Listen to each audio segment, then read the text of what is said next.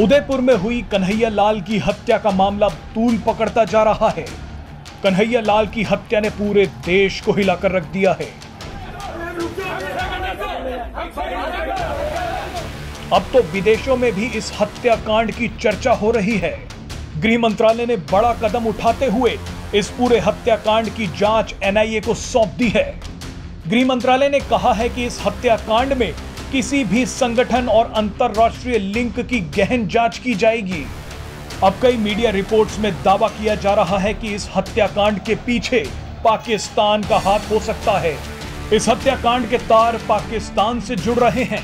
कन्हैया लाल की हत्या करने वाले मोहम्मद रियाज और गौस मोहम्मद पाकिस्तान के कट्टर संगठन दावत इस्लामी से जुड़े हुए थे। रिपोर्ट्स में यह भी दावा किया जा रहा है कि गौस मोहम्मद ने 45 दिन तक पाकिस्तान में ट्रेनिंग भी ली थी। गौस मोहम्मद भारत में पाकिस्तान का स्लीपर सेल बनकर काम कर रहा था। जानकारी दे दें कि दावत इस्लामी नाम के संगठन का संचालन पाकिस्तान के कराची से होता है और दुनिया के कई देशों में इसका नेटवर्क फैला हुआ है। यह संगठन इस्लाम की शिक्षा के नाम पर लोगों को कट्टर बनाता है और दुनिया भर में शरिया कानून लागू करने की वकालत भी करता है।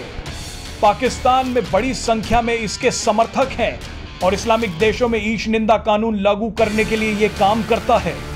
बहरहाल आपको बता दें कि इन दोनों आरोपियों ने प्रधानमंत्री नरेंद्र मोदी को भी जान से मारने की धमकी दी थी। सोशल मीडिया पर इन दोनों का वीडियो वायरल हो रहा है। दोनों ही आरोपियों को गिरफ़्तार कर लिया है।